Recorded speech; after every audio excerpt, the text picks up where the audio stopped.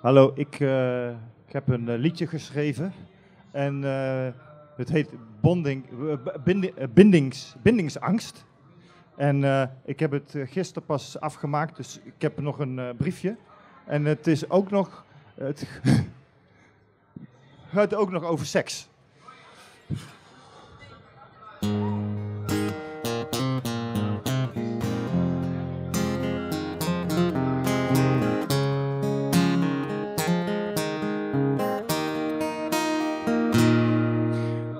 Houd graag de touwtjes in handen. Ik ben niet graag out of control. Dat geleuter over die vrijheid, het wordt me toch snel al te dol. Daarom voel ik mij sterk verbonden met mensen streng in de leer. Me echt eens op laten zwepen. Denk dat ik dat maar niet probeer.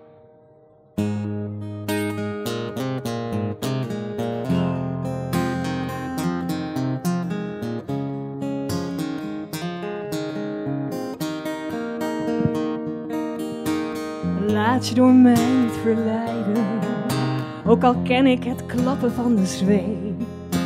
Jou kan het misschien niet zo boeien, het houdt jou niet in de greep. Maar mij kun je zeker vertrouwen. Ik ben. Ik houd je nog niet aan het lijntje, dus vrees niet dat ik met je speel.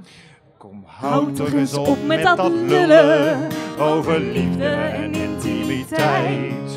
Met praten vul je geen gaten, Dus weg met die schijnopenheid. Soms is het beter te zwijgen. Niet alles hoeft ampel en publiek. Ik kies liever voor slot en voor grendel. Die openheid, dat is pas ziek. Ik heb deze knul leren kennen. Hij noemt zichzelf een markies. Achter deze façade Zade? bleek hij een echte sadist. Ja! Toen hij van de schrik was bekomen, zei hij: Oh, meesteres, wat heb ik dit gemist?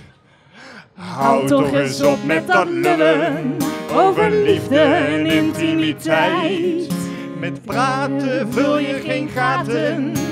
Weg met die schijnopenheid. Nee, liever een date in het donker. Niet alles hoeft in het openbaar. Te koop lopen met erotiek. Dat, Dat vinden wij pas echt ziek. Weg!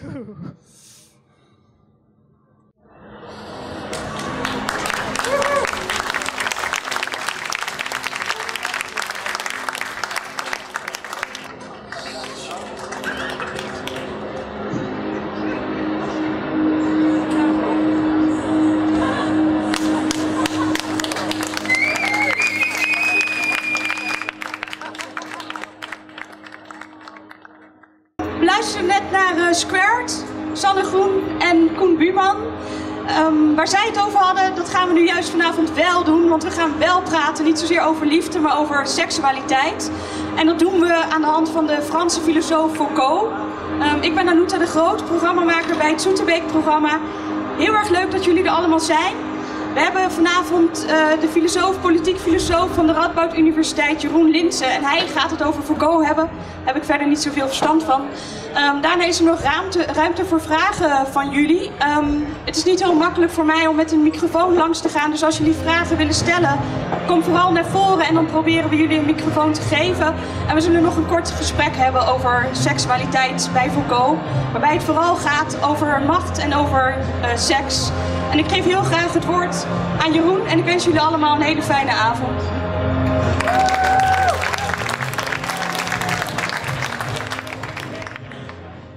Eh, dames en heren, ik ben verstaanbaar zo. Ja, oké. Ehm, het gaat weliswaar over seks, maar het wordt totaal niet pikant.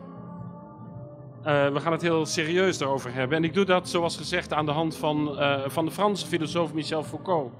Die schreef ongeveer 40 jaar geleden een, een boek, Histoire de la sexualité, La volonté de savoir, ofwel de ge- geschiedenis van de seksualiteit, de wil tot weten.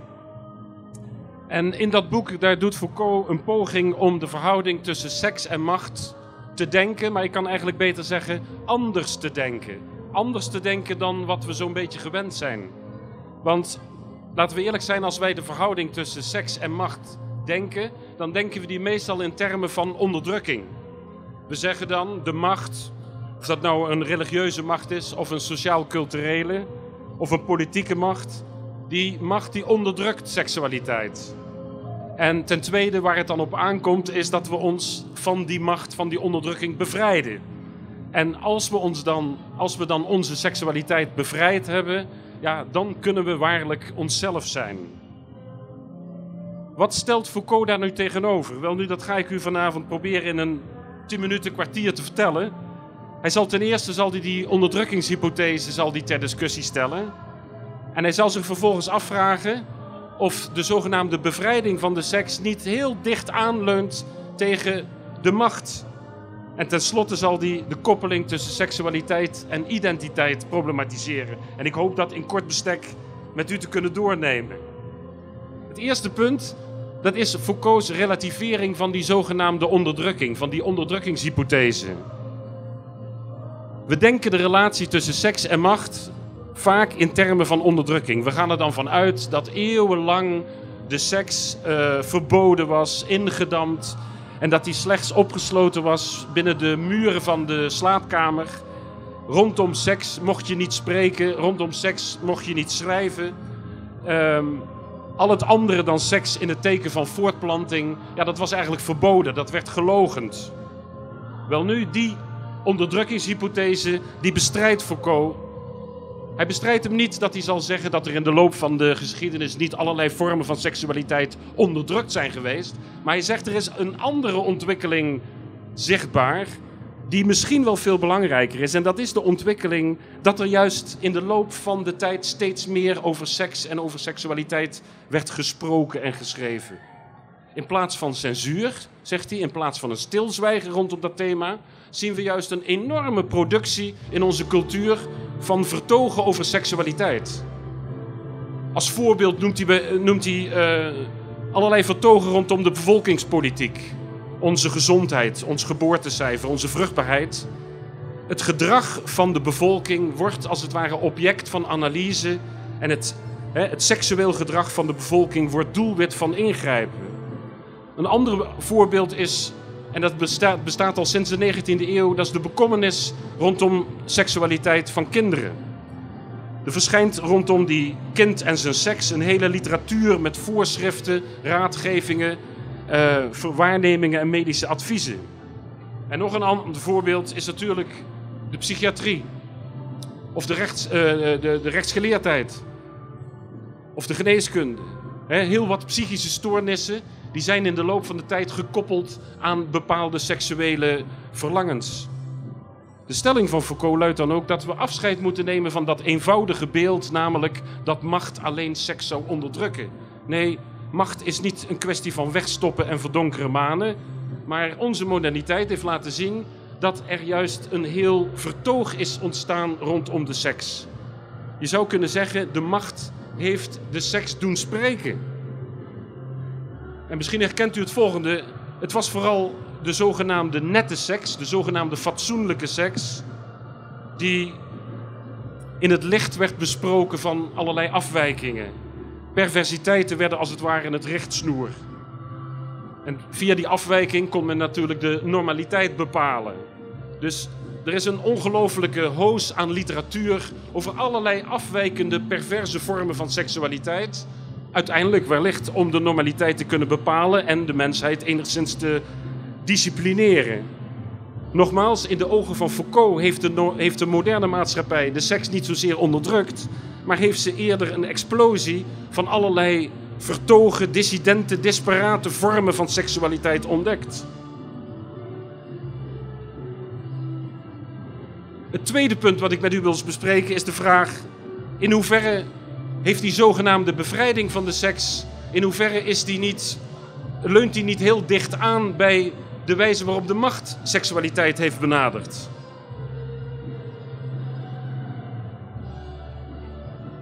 Die vertogen over seksualiteit, waar Foucault het over heeft, die zo in de 18e, 19e eeuw ontstaan, die hadden niet onderdrukking van seksualiteit tot doel, maar eigenlijk iets anders, namelijk een soort gebod tot spreken.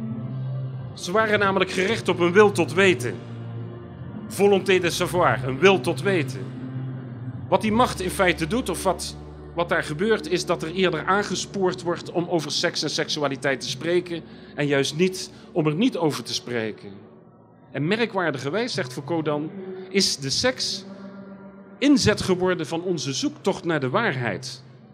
Het ging niet om het wegstoppen van de waarheid van de seks, maar het ging om aan de hand van de seks de waarheid tevoorschijn te brengen.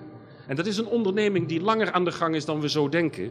En Foucault zegt in feite heeft zich in de westerse beschaving een scientia sexualis, een wetenschap van de seks ontwikkeld. Natuurlijk veel bekend binnen de psychologie, de geneeskunde, maar ook binnen de seksuologie bijvoorbeeld, een wetenschap van de seks. En de procedure die daar vooral gehanteerd wordt, zegt Foucault, is die van de bekentenis. En we kennen die procedure van de bekentenis. Dat gaat een beetje naar beneden. We kennen die procedure van de bekentenis vooral uit de religieuze praktijk, uit de biecht. De biechtstoel, waar je aan de pastoor allemaal vertelt welke zonde je hebt begaan. En die oude techniek van de biecht, die oude techniek van de bekentenis, die verschijnt vervolgens in de 19e en 20e eeuw in het wetenschappelijk discours. De bekentenis wordt in feite het belangrijkste ritueel aan de hand waarvan wij proberen de waarheid aan de weet te komen. Die verplichting om te bekennen, zegt Foucault, die is eigenlijk overal aanwezig. Niet alleen in de biechtstoel, en dat, dat is bijna verleden tijd, maar ook in de rechtspraak, in de psychiatrische wereld, in gezinsverhoudingen, liefdesverhoudingen. Vandaag zou je kunnen zeggen op sociale media of in de vele enquêtes waar wij aan worden onderworpen. We moeten voortdurend onze eigen waarheid bekennen. En we zijn er bijna aan gewend geraakt dat die bekentenis uh, vrij maakt. We zijn eraan gewend geraakt dat die bekentenis uh, al lang niet meer gezien wordt als een effect van de macht. Nee, de bekentenis maakt vrij. Hè, denk bijvoorbeeld aan iemand op tv die vertelt dat hij homoseksueel is en die bekent dat voor de eerste keer, dan beschouwen we dat als een act van vrijheid, als een bevrijdende act. Die scientia sexualis die heeft zich ontwikkeld in de loop van de 1920e eeuw. En dit weten van de seks is uiteindelijk op vele manieren verbonden geraakt met machtsuitoefening. Dat is de grote stelling die Foucault doet. En ik heb de voorbeelden kort genoemd. De vorm van bevolkingspolitiek, in de, in, de vorm van pedagogisering van het kind en in de vormen van uh, allerlei afwijkingen die werden bepaald binnen de psychologie en de psychiatrie. Men wordt in onze maatschappij, zo zegt Foucault, voortdurend uitgenaagd om zijn eigen seks te bekennen. Zijn seksuele begeerte als het ware om te zetten in vertoog. Je moet erover praten. Het is dan ook vals, zegt Foucault, de moderne macht enkel alleen te zien als een onderdrukking van seks. Nee, de moderne macht spoort aan tot het spreken over seks. En in die zin komt Foucault tot een vraag, namelijk zij die omwille van de bevrijding aanmoedigen tot het vrijmoedig spreken, maken zij niet op een bepaalde manier deel uit van die macht? En dat is natuurlijk, zou problematisch zijn zeg maar, voor de zogenaamde bevrijdingsbewegingen die we op dat terrein kennen. Gezien de tijd ga ik nu snel naar het laatste deel. Foucault's problematisering van de relatie tussen seks en identiteit. Foucault onderscheidt in zijn boek twee processen. Enerzijds, zegt hij, vragen wij ons sinds een aantal eeuwen af, of vragen wij sinds een aantal eeuwen aan de seks de waarheid te spreken. Niet voor niets vermeerderen wij constant allerlei vertogen over seksualiteit, natuurlijk, om te bepalen van wat we normaal en abnormaal vinden, van wat we pervers en niet pervers vinden, wat we gevaarlijk vinden en wat we niet gevaarlijk vinden. Maar misschien nog veel belangrijker, wij vragen aan de seks onze eigen waarheid te zeggen. Foucault zegt dat het project van de wetenschap om het project, of om het subject, simpel gezegd, de antropologie, de vraag wie is de mens, die vraag stellen wij eigenlijk sinds een aantal decennia aan de seks. We ontlenen via de seks een soort identiteit. De seks, zo zou je eens kunnen zeggen, die vertelt ons wie of wat we zijn. En je moet je voorstellen, ik heb gezegd, 40 jaar geleden schrijft Foucault dat boek. Toen was natuurlijk vooral de psychoanalyse ehm, eh, in, in de mode. En met name op de divan, u kent dat misschien van Sigmund Freud. Hè, op de divan werd je uitgedaagd om je leven te bekennen. Om, om je diepste seksuele roerselen, of al je zielenroerselen, aan de arts uh, over te dragen. En dan kon die arts bepalen wie of wat jij was. Of wat je verlangen was. Nogmaals, Foucault zal niet ontkennen dat de zogenaamde seksuele identiteit in politiek opzicht enig nut heeft gehad. De homobeweging, de vrouwenbeweging, die hebben daarvan kunnen profiteren. Maar zijn punt is, zo denk ik, dat we veel meer zijn dan alleen onze seksualiteit. Die focus op seksualiteit, die beperkt ons en werkt al lang niet meer enkel en alleen bevrijdend, maar misschien ook onderdrukkend, stigmatiserend en normaliserend. Ik zag onlangs in een magazine de zinsnede: Het is helemaal niet erg als je soms geen zin hebt. De auteur die bedoelde die zin waarschijnlijk bevrijdend in de zin van: je bent niet ziek of abnormaal als je zo nu en dan geen zin hebt. Tegelijkertijd werkt die zin heel normerend. Het is natuurlijk wel de bedoeling dat je zo nu en dan zin hebt. Een ander voorbeeld zou kunnen zijn dat iemand die voor het eerst zijn homoseksualiteit bekent, die zal dat ervaren als bevrijdend en ook de omstanders zullen dat wellicht uh, ervaren als bevrijdend. Toch kan die coming out ook stigmatiserend werken, want vanaf die dag ben je homo. Voor iedereen in alles wat je doet ben je dat en men verwacht van jou niet anders dan dat je je eigenlijk, eigenlijk volgens die identiteit gedraagt. Dus gedraag je ineens niet als homo, dan zegt men: hé, hey, ik dacht dat jij homo was. In een interview zei Foucault ooit: Ik meen dat we seksualiteit onder het volgende motto te lijf moeten gaan. En hij sprak de woorden non au sexe roi. Nee tegen koningsseks. En laat dat duidelijk zijn, hij bedoelde daar integendeel mee dat we ons van seks zouden moeten onthouden. Want Michel Foucault, iemand die zijn biografie kent, die weet dat hij er zelf wel pap van lustte. Hij bedoelde daarmee niet dat we moeten ophouden met seks, helemaal niet. Maar hij bedoelde daarmee dat we moeten ophouden zoveel op te hangen aan seks.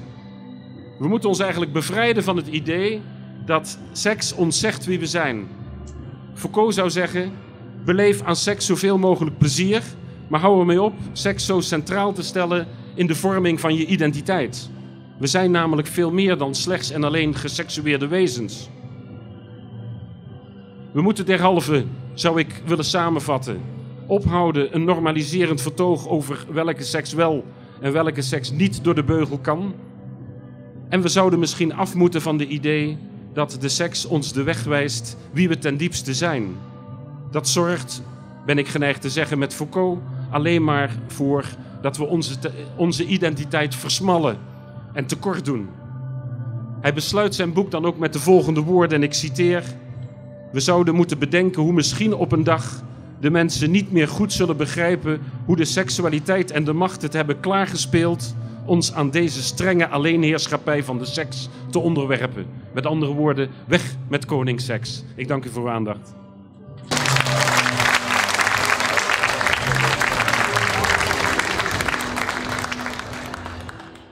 Um, wat ik eigenlijk eerst wil vragen aan jou is: um, denk je dat we nu in een maatschappij leven waar seksualiteit op een bepaalde manier vrij is?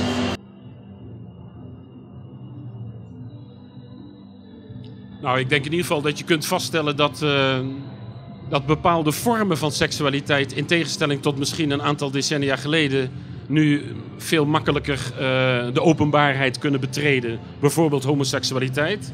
Maar ik denk dat je even goed kunt vaststellen dat bepaalde vormen van seksualiteit vandaag de dag juist in een verdomhoekje zijn geplaatst. Waar ze wellicht voorheen wat minder in een verdomhoekje zaten. Zoals bijvoorbeeld de pedoseksualiteit. Maar denk je dat die, die bevrijding die we bijvoorbeeld de afgelopen zoveel tientallen jaren van homoseksualiteit hebben meegemaakt, dat die had kunnen plaatsvinden als we niet in de publieke ruimte over homoseksualiteit waren gaan praten? Zeker, uh, maar ik ben het ook met Foucault eens dat het politiek heel nuttig is geweest en nog steeds politiek nuttig is om uh, aan seksuele bevrijding te doen. En om het nog steeds in, in, in, in termen te plaatsen van onderdrukking. Alleen het is niet het enige. Er is ook gewoon een keerzijde. En dat is eigenlijk wat ik met Foucault heb willen, willen vertellen. En die keerzijde, ja, die lijkt me evident. eh, dat eh, op het moment dat je je ja, tot een bepaalde identiteit, tot een bepaalde seksuele identiteit bekeert. Of, of, of bekend, zo moet ik het eigenlijk zeggen. Ja, dan, dan, dan word je daar op een bepaalde manier ook gelijk op vastgepind. En dat is, lijkt mij heel vervelend. Ik wil niet vastgepind worden op mijn toevallige heteroseksualiteit. Volslagen onzin. Seksualiteit is eigenlijk een heel vervelend eh, ding. Eh, we zouden plezier moeten scheppen in het leven. We zouden allerlei fysieke eh, contacten met elkaar moeten aangaan, maar dat dat onder de noemer seksualiteit gebeurt. Althans, en nou spreek ik eigenlijk Foucault weer na, want die zei dat ook. Dat dispositief seksualiteit, daar moeten we vanaf. Dat, dat, dat, dat stigmatiseert alleen. En dat maakt ons niet vrij. Ja, een dispositief, dat is, een, een, een, een- dat is wanneer een woord, wanneer een begrip, een concept, als het ware gekaapt wordt door eh, de verhouding wetenschap-macht. En dat is in feite met seksualiteit gebeurd. In feite is de seksualiteit een onderdeel geworden van het wetenschappelijk spreken. Eh, seksualiteit is een begrip wat wetenschappelijk binnen bepaalde wetenschappelijke discoursen heel belangrijk is, maar wat tegelijkertijd, eh, zou ik zeggen vanuit een filosofisch perspectief, tegelijkertijd problematisch is. Dus de manier waarop de psychologie en de psychiatrie de, de seksualiteit hebben binnengevoerd, is, heeft, heeft natuurlijk ook enerzijds bevrijdend gewerkt. Bepaalde vormen van seksualiteit werden iets wat normaler. Maar tegelijkertijd is het invoeren van de seksualiteit in een wetenschappelijk vertoog maakt dat wetenschappelijk wordt bepaald wat normaal en abnormaal is. En dat lijkt me zeer problematisch, want dat kan de wetenschap niet bepalen. Dat is namelijk aan ons, mensen, om te bepalen wat we normaal en abnormaal vinden, ook op het terrein van seksualiteit. Heel dat eh, normaal, abnormaal onderscheid. Er is veel discussie over bijvoorbeeld eh, de DSM en, en welke eh, stoornissen daar als stoornissen worden gezien. Dus is heel dat, dat seksualiteit in een normaal, abnormaal discours is terechtgekomen. Is dat niet gewoon iets van deze tijd? Of is dat echt iets wat anders werkt voor seksualiteit dan voor de rest van de identiteit van mensen? Ja. Nee, het is niet iets van onze tijd in de zin van, eh, van de afgelopen jaren. Het is echt al sinds de Tweede Wereldoorlog aan de gang en eigenlijk al daarvoor. Ik heb de psychoanalyse genoemd. Eh, in de ogen van Foucault is de psychoanalyse de grote schuldige. En, en, en eh, ja, misschien is het zelfs vandaag de dag binnen de psychiatrie en psychologie. Vanwege de neurowetenschappen ligt er minder nadruk op de seksualiteit dan voorheen. Dus het is misschien zelfs wel iets minder geworden. Maar nog steeds speelt dat een heel belangrijke rol. Ja, ik zou zeggen, juist ook de breinwetenschappen dragen natuurlijk weer aan een eigen verhaal over seksualiteit. Nou, het, eh. erg- het ergste wat daar kan gebeuren, wat soms gebeurt, is dat men een, een, een, als het ware een oorzaak vindt voor een bepaalde seksuele identiteit in het brein. Ik kan u verzekeren, dat is de grootste onzin die er bestaat. Er is geen breinoorzaak eh, voor een bepaalde seksuele beleving. Dat is geconstrueerd, als u begrijpt wat ik bedoel. Dat is een constructie van de wetenschap. En dat heeft met echte wetenschap geen ene flauwe moer te maken. Mag je een keer met hersenwetenschappers uitvechten? Dat is goed. Eh, ik zie al pluis komen. achterin, dus... eh, Laat ze maar komen. Ehm, ik kijk even naar jullie allemaal. Want ehm, als er mensen zijn die graag vragen aan Jeroen willen stellen, eh, laat het even weten. Steek je hand op. Dan probeer ik op een of andere manier de microfoon jullie kant op te bewegen. Dus gewoon je hand omhoog steken. Ehm, wat ik een beetje me afvraag in dit, in dit discours eh, van eh, Foucault. ehm, verstaat hij onder macht? Gaat het hem dan vooral om die wetenschappers die een bepaald ehm, aura van waarheidsvinding hebben? Of wat verstaat Foucault precies onder macht? Nee, het gaat eigenlijk, zoals ik probeerde te zeggen, om de combinatie van weten en macht, die vooral in institutionele settingen plaatsvindt. Hè? Het gaat er hier niet om om wetenschappers van allerlei dingen te beschuldigen. Het gaat erom op het moment dat wetenschap in instituties binnenkomt, bijvoorbeeld in de rechtszaal. Of in de institutie van de gevangenis. Of in de psychiatrische inrichting. Of in de opvang van vrouwen. Of waar dan ook. En op dat moment dan, dan vindt er eigenlijk op basis van een bepaald weten een zekere mate van machtsuitoefening plaats. Die vindt daar plaats. Dat kan niet anders, want die mensen worden op een of andere manier ja, op het goede spoor gezet, om het maar even zo te zeggen. Of op een ander spoor gezet dan dat ze zaten. Ja, en eh, dat is wat Foucault bedoelde met op het moment dat die twee samengaan, dan moeten we opletten. Hij wijst dat overigens helemaal niet totaal af, maar hij zal altijd zeggen: dan moeten we opletten, want ja, dan, dan is er gevaar. Dus in alle instellingen waarin mensen worden opgenomen of waarin mensen worden geholpen, waarin er zorg wordt verricht, die instellingen die zijn vaak combinaties van weten, wetenschap, maar ook macht. En juist in die instellingen vindt dat plaats. En dat is waar, als het ging om macht, ik bedoel, het gaat niet om de macht van de politiek, van de overheid. Bij Foucault gaat het meestal om instituties. En, en is dan bijvoorbeeld een uh, programma als Spuiten en Slikken, is dat ook een institutie? Vindt daar ook die, die machtswerking plaats? Ik vind, ik vind een programma als Spuiten en Slikken of uh, uh, Kom uit de kast of Uit de kast komen, hoe heet het? met die man met die tattoos. Arie Boomsma. Ja, met die ja. tattoos zeg ik al. Die, die, dat zijn twee programma's die, die eigenlijk heel mooi die dubbelheid laten zien. Het zijn, enerzijds denk ik dat ze, dat ze bevrijdend werken. Dat, dat kan bijna niet anders. Ik bedoel, alleen aan de andere kant werken ze ook tegelijkertijd heel normaliserend en stigmatiserend. Uh, dus, dus maar, maar zou, er een zou zo'n programma kunnen bestaan zonder dat dat stigmatiserende en normaliserende erin zit? Want ik zou ook zeggen, zo'n programma als Spuiten en Slikken heeft een bepaalde uh, um, kenniskant die je mensen niet wil onthouden. Want door kennis over seksualiteit kun je natuurlijk ook je eigen seksualiteit ontwikkelen.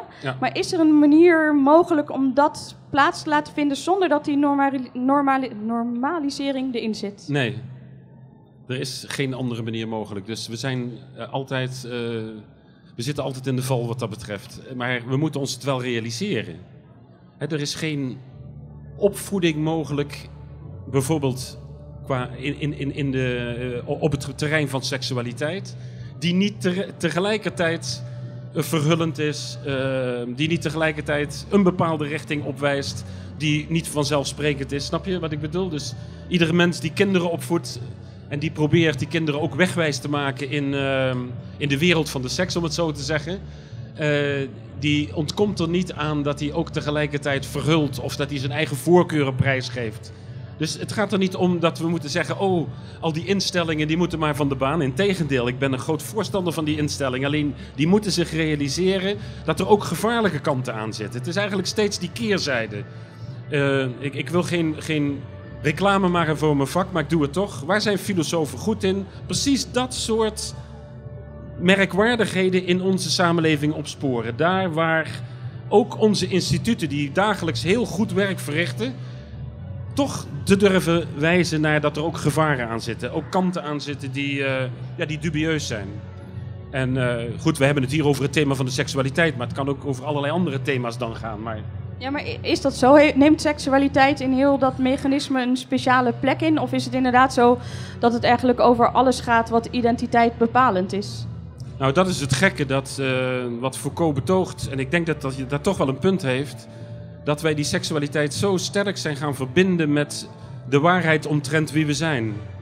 En, en eh, dat is gewoon overdreven. Seksualiteit is superbelangrijk. Maar het is tegelijkertijd ook net zo belangrijk als alle andere dingen. Dus het is, het is eigenlijk een beetje merkwaardig, zou ik met Foucault willen zeggen, dat we die seks nou zo'n alleenheerschappij hebben gegeven op de vraag wie ben ik. dus eh, we, we, we, bekennen onze seks en dan bevrijden we ons en dan denken we dat we uitgevonden hebben wie we zijn. Terwijl je bent veel meer dan alleen maar jouw seksualiteit. Ik ga even deze kant op, want ik zag een vraag uit het publiek. Volgens mij moet dit nog lukken met alle snoeren?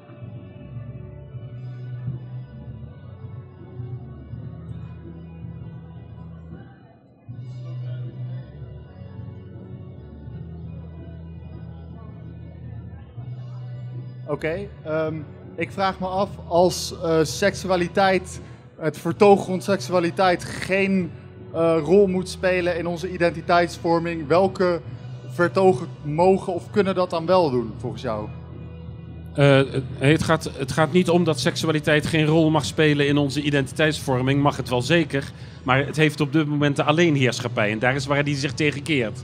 Dus hij snapt niet waar die soevereiniteit van de seksualiteit vandaan komt. Uh, er zijn allerlei andere zaken in het, in, in, in, het, in het leven van mensen die onze identiteit bepalen. Uh, de boeken die je leest, uh, de films die je bekijkt, de bandjes waar je van houdt. Ja, je, de, dus de hele culturele wereld. Hè Of je wel of niet graag naar, een, naar iets gaat, naar zo'n festival gaat. Och, je kunt het zo gek niet noemen. Allerlei die, die bepalen mede onze identiteit, bepalen mede wie we zijn. Die zijn even interessant, ook even leuk. Kun je evenveel plezier aan beleven. Dus het, nee, het gaat hier niet om een, om een logening van de seks.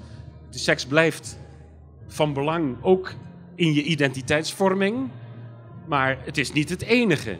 Er zouden ook eh, uit de kast kom eh, programma's moeten zijn over welke boeken je leuk vindt.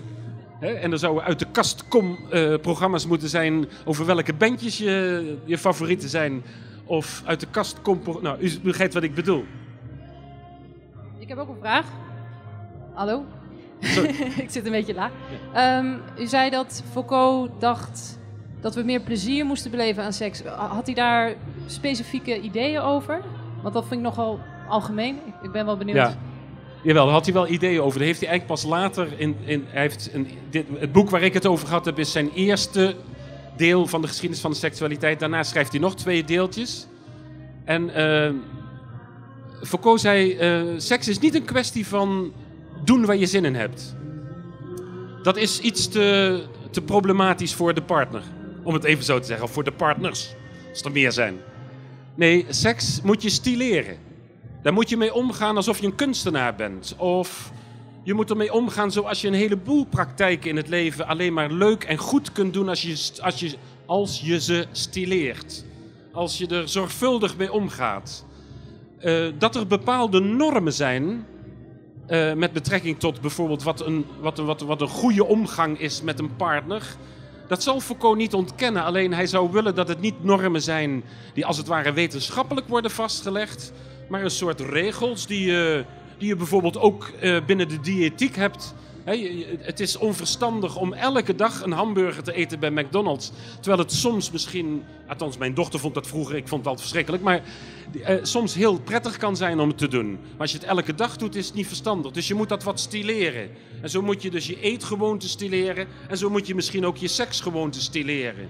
En misschien maakt. Hè, Foucault was ook iemand die zei: als je het goed stileert, kun je er nog meer van genieten.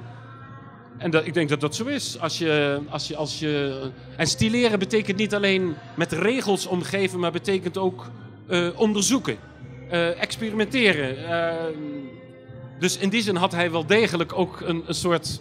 Ja, ik moet nou oppassen, want als ik zeg programma, dan klinkt dat veel te zwaar. Hij heeft gewoon wat, wat noties van stilering en noem maar op erin gebracht om te laten zien. Er is ook een andere manier mogelijk. Een soort ars erotica. Een soort kunst van de erotiek. Naast seksualiteit. Seksualiteit, dat verafschuwt hij. Maar dat heeft vooral te maken met dat, zoals ik zei, dat dat woord zo duidelijk in die wetenschappelijke hoek is terechtgekomen. Andere vraag van mij. Eh, ik ben benieuwd hoe eh, Foucault over het taboe denkt en het belang daarvan. Eh, dat heeft met machtsuitoefening te maken. Geen macht of geen taboes zonder macht. Maar ik zou ook zeggen geen seksualiteit zonder taboes. Ehm, hoe ziet Foucault dat? Ik denk dat je hier een goed punt eh, raakt. Eh, kijk, dat sek- seksualiteit omgeven is eigenlijk van oudsher en in bijna alle culturen met taboe. Met eh, bijvoorbeeld het incesttaboe is natuurlijk het bekendst, maar meerdere taboes. Dat seksualiteit gepaard gaat vaak met een zekere mate van schaamte. Dat is denk ik echt, moet ik in alle eerlijkheid zeggen, een manco in het, in het, in het verhaal van Foucault. Komt er eigenlijk niet in voor.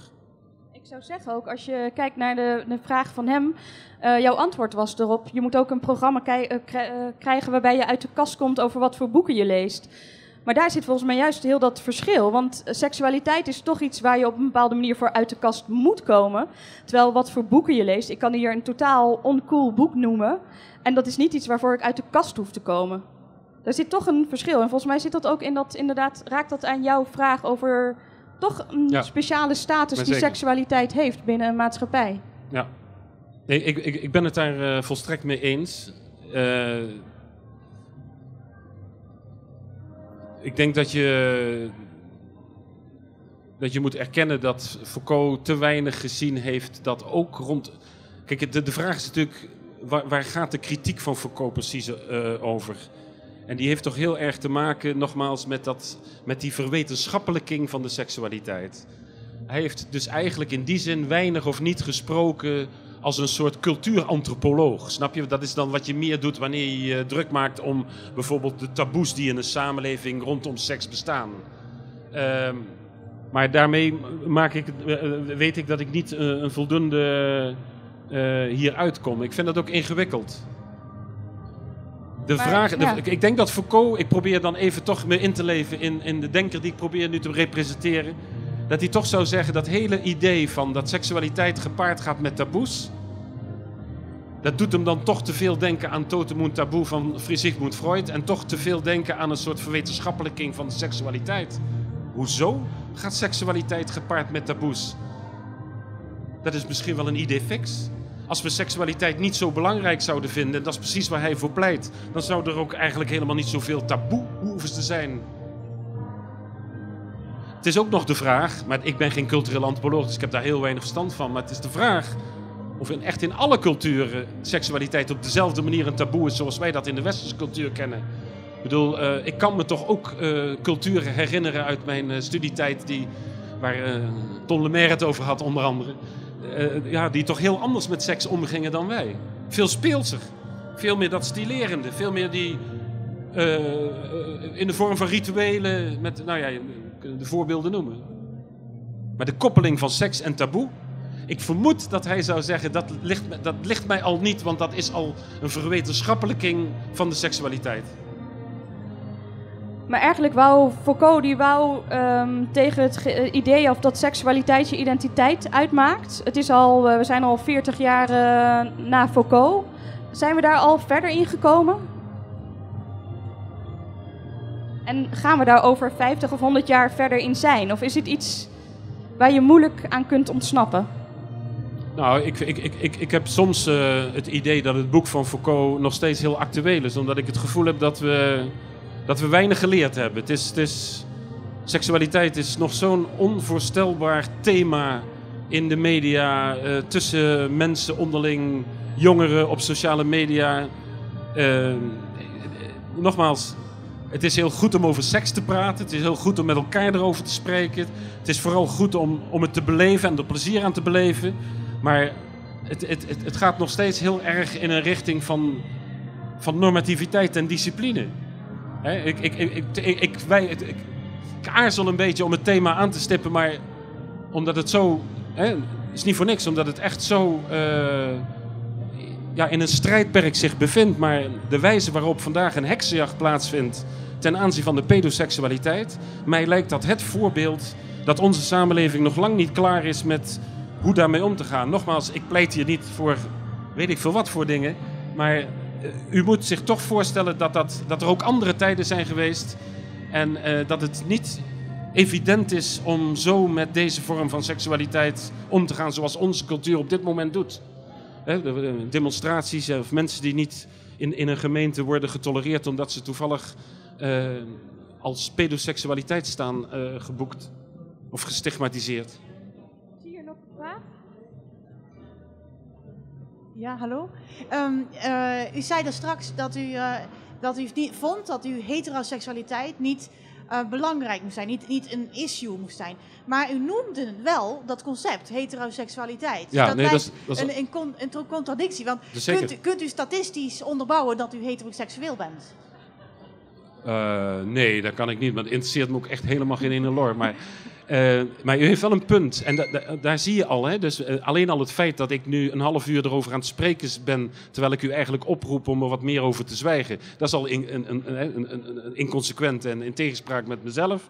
Maar zeker het feit dat ik het woord heteroseksualiteit op mijzelf betrekking gaf... sloeg nergens op. Ik zal het ook nooit meer doen. Nou, bij deze was het de laatste keer. Ehm, volgens mij is een beetje de conclusie van de avond dat we niet alleen ons brein zijn, maar ook onze seksualiteit zijn en dat we daar vooral van af moeten. Ehm, Ook overigens van dat idee dat we ons brein zijn. van allebei in één keer, die kunnen we dan samen nemen. Ehm, ik wil jullie heel erg eh, bedanken voor jullie aandacht. Ik wil Jeroen Linsen bedanken voor zijn verhaal. Ehm, nog een hele fijne avond hier op het Valkhof. Eh, komende week woensdag zijn we hier weer met een verhaal van Simon Guusman over Sartre en zijn kreeftentrip over eh, drugs in dit geval. En volgende week donderdag eh, met eh, Carly Koenen op dezelfde plek hier inderdaad met een verhaal over rock'n'roll, zodat we deze Valkhof de seks, de drugs en de rock'n'roll behandelen. Ik hoop dat jullie het leuk hebben gevonden. Nog een hele fijne avond en graag tot de volgende keer.